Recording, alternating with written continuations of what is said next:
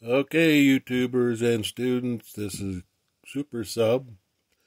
What we're looking at here is the diagram for the explanation of the SARS backbone that the bat coronavirus was piggybacked on to make it an epidemic strain so that humans could be infected.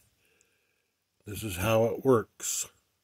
There'll be a later explanation. This is we're and this is we're talking about the within the constant molecular drive in the molecular biology, which Dr. Fauci in Congress said that there was no, it had nothing to do with what was happening. And uh, here is the proof.